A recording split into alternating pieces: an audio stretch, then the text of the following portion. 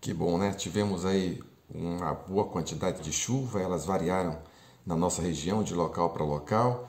A chuva, de modo geral, variou aí entre 15 e 70 milímetros, dependendo do local da região do oeste do Paraná.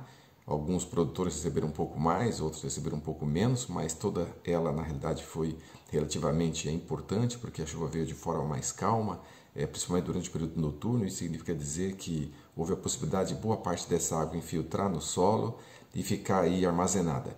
É claro que para alguns o volume não foi tão significativo, mas é, de forma geral ela é significativa para todos nós, porque quando vem a chuva ela traz é, do céu atmosférico aí uma quantidade de fertilizante, ela tem a possibilidade de limpar o ar atmosférico e sem dúvida alguma, agora as lavouras de inverno que já foram implantadas, principalmente aí o trigo, é, a aveia, é, a cevada, são muitas culturas que as pessoas têm agora como alternativa no inverno, elas se beneficiaram tremendamente. Essas lavouras não precisam de tanta água, mas é bom na realidade que tenha uma umidade e isso precisava nesse momento. É, as pastagens também, de modo geral, é, elas ficam um pouco mais, mais verde. É, as pessoas que trabalham com agricultura, isso é interessante porque economizam um pouco mais em relação à água. Nós não temos volume tão expressivo esperado até o final do mês. Temos a possibilidade de entrada de uma outra frente na semana que vem.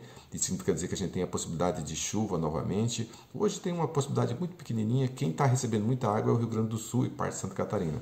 Mas nós aqui no oeste do Paraná não temos essa possibilidade de volume tão expressivo nesse momento. Temos sim Agora, a possibilidade das temperaturas caírem um pouco mais nesse final de semana.